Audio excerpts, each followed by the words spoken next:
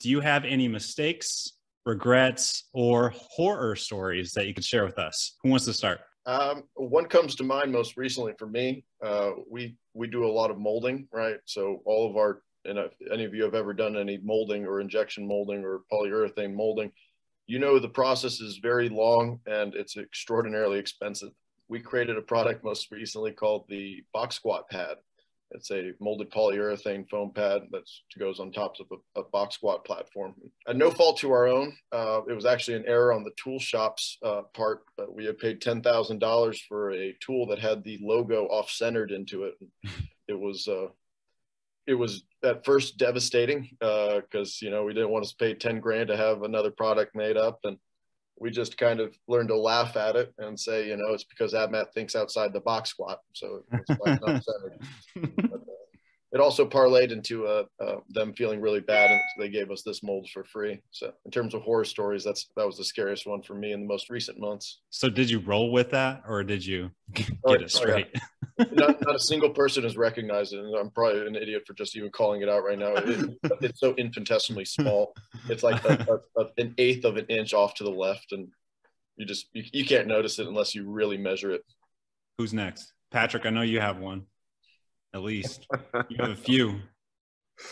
Oh my gosh. Yeah, you know, so with with these whole kind of, you know, horror stories, regrets, um I don't I don't necessarily like to call them regrets in a sense. Um each one of them has been a learning experience and you know, if I can lump everything into something, I guess it would just come those things that happened are a result of essentially us not staying true to what we want to be. Probably the, the biggest one that I can think of is in our early days, contacting uh, kind of like a bulk manufacturer out of China or whatever you want to call it, and then us getting a container full of equipment that was essentially just junk.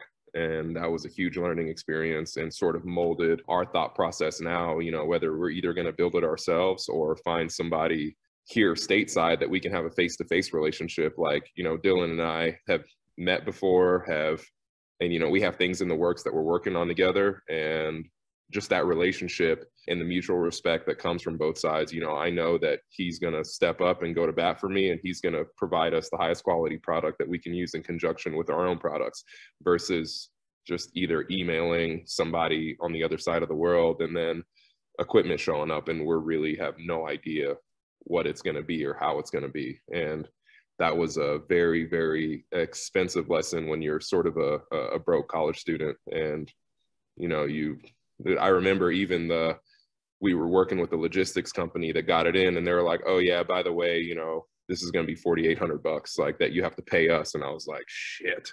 Um, and then yeah i remember going to my girlfriend at the time and be like hey do you do you have uh, five grand that i can borrow? And um, yeah, so you know, she's my wife now, so it's all good. But the um, yeah, that was probably the biggest thing. You know, one of the many reasons why you know I value and want to hold true to the uh, you know whole American manufacturing and American built thing. So that's that's probably it. Anyone else have anything? Um, back in uh, it was twenty the summer of twenty twenty one, we had a shipment of fractional plates that came in, and uh, we have there was a the plates get tumbled, so like the edge is like kind of sharp um, the, just the way it's manufactured. So they get tumbled to kind of comb over that burr. Well, the coating company forgot to tumble them, and we got you know 10 pallets of plates that all had like a sharp burr on it. So we had to send them back. Well, they were already coated. So we kept a bunch and we hand sanded a whole bunch because I was out. So we hand sanded a bunch so we could still sell and then we sent them back and, and we decided to tumble them coated because if you do it a short amount of time it's like a vibratory tumble. They use a real fine stone that goes over it um, that it could get rid of that burr but without recoating it. So we decided to do that sent them back and uh, they sent them back and they looked terrible. So then i had to i made that executive decision to do that. So then we had to send them back again to get them recoated sandblasted then recoated. The problem was when we got them back about 5000 of them were in the back of the truck. They had fallen over and, mm. and we had to pick up all these plates. Um, I don't I, actually I don't want to say we because I was actually on vacation. My operations manager, it was the worst vacation I've ever taken. You know, he was there uh, picking up one by one plates, and like I have these things layer packed so they don't touch each other, so they don't scratch. They're literally throwing them in 55 gallon drums. Ting, ting, ting. We had to send them back, and they recoated them, sent them back to us. They fell over again. On the trip back, so they don't know how to wrap pallets. And um, yeah, and that cost me several thousand dollars to get them recoated. Uh, even though it was sort of their fault, but it was sort of my fault because I took the chance of like, hey, let's just tumble them because I need the plates. Um, so that that was a couple thousand dollar mistake, and um, that's kind of stuff you don't show on like Instagram and social media and stuff because it was like a disaster of epic proportions of like thousands of tiny plates in the back of the truck rolling around like a tumbling machine and just because of like poor wrapping and things like that. So but yeah that, that's probably one of the, the biggest debacles in Micro Gainz history there. But we did get them all recoated. They just have some of them have like little dings and dents in the actual metal. They, they turned out all right after after all that. And that was right around the time you you somewhat went full time? Yeah that's right. Yeah so, so it's just a ton of stuff, we were, i'm sure. Yeah, we were selling a lot. So like we needed them. Like like I said, I, I held some back and we hand sanded with like 1000 grit sandpaper to make sure we had orders, you know, we could fulfill for customers. Um, and I think I even drove up there and picked up like a pallet in my truck early before they could ship it back, but it fell over anyway. And then we're, we're arguing back and forth about how to pack these things and, you know, but, but yeah, it was, that was a pretty big deal for us. Awesome. It was terrifying, but thanks for sharing. Uh, Steve, you had something? Yeah, so uh, I never posted about it, but if anyone paid attention, like when we first were like doing teasers of the landmine and showing pictures of it, the bracket that bolted up to the rack was different, and I had two tabs on it.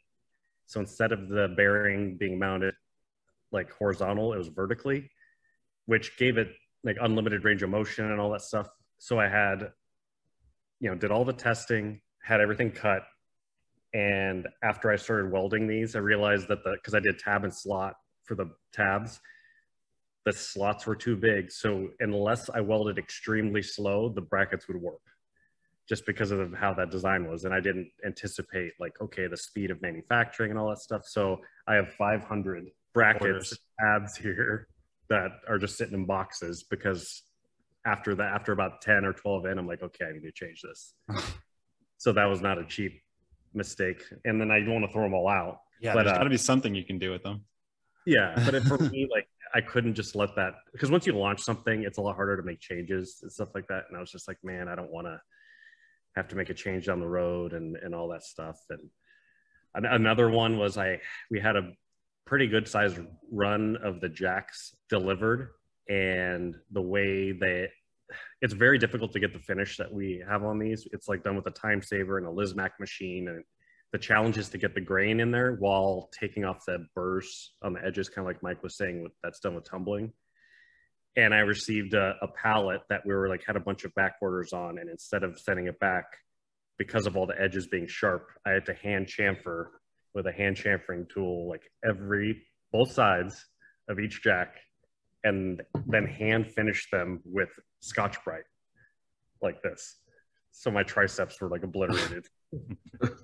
but you got to do the things like there's certain things you got to do in order to get by. Like we we found out we were one of the pallets we had of boxes. There was it was a different box that I had them organized incorrectly, and I had about like 70 orders to fulfill. So what I ended up doing is cutting open all the boxes of our other product that had the other color jack in and just transferring them just to get the orders fulfilled. Two steps back to go one step forward kind of thing. Brutal. All right, Jason, do you have anything to share? Or not really? Hey, yeah, I, I mean, I, I constantly live in a nightmare right now. Uh, I'm still pretty young, you know, so we're still dialing stuff in, uh, especially with partners. It's a huge reason why we're trying to bring everything in house. Uh, I mean, I'm I'm sitting 10 feet from a pallet that has 40 scrapped units on it. There's a pallet behind me. It's got 70 scrapped parts on it. I ordered 100 parts. 70 of them were out of tolerance. Uh, we run pretty tight tolerances because our stuff, you know, bolts to other people's stuff. Uh, and that channel we use has to be really tight. And uh, I'm sure, as everybody in this group knows, not everybody pays attention to detail like we do. Uh, you know, when we're really close to the product. So uh, it's been something where we're you know, having to plane UHMW parts to make up for tight, tight bend tolerances, you know, when they got the channel too tight or whatever, uh, you know, making spacers just fit right. Or we ran a thing of tubes and had the wrong size hole for the rivets. So we had to hand drill every single one of them. And I mean, there's eight holes on every single unit. So you just kind of put that math together. And like Steve said, it starts adding up to time. But uh, the power racks, you know, finding those little shortcuts, I come from everything from a user perspective, so not from a manufacturing perspective. So after you build what you thought was going to be awesome, and you're like, that took way too long to build, you know. So you go back and like start trimming some of that stuff. So no, no like real horror stories, but like Patrick said, lots and lots of learning opportunities. Makes sense. I like the way you phrased that. Not a mistake. It's a learning opportunity. Yeah, you guys were extremely positive.